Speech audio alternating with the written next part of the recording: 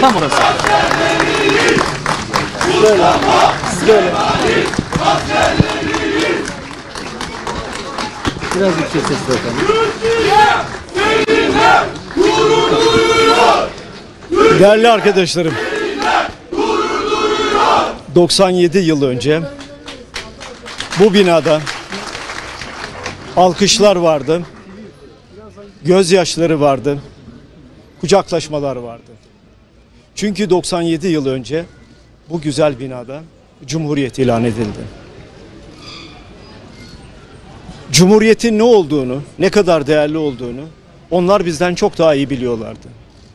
Çünkü onlar savaş meydanlarından gelmişlerdi.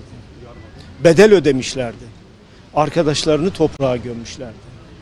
Ve dolayısıyla Cumhuriyet'in ilanı bizim en büyük devrimimizdir. Egemenlik kayıtsız, şartsız milletindir.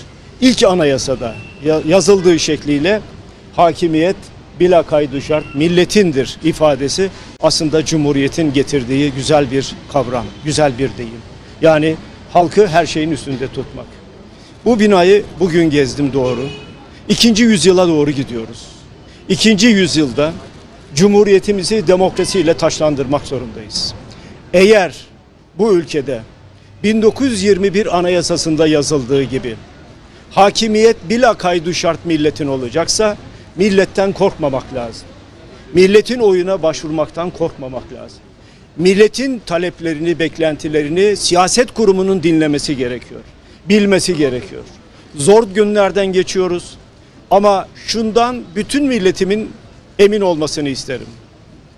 Bu ülke en zor günlerinde bile bir araya gelerek barış içinde bütün zorlukları aşmıştır.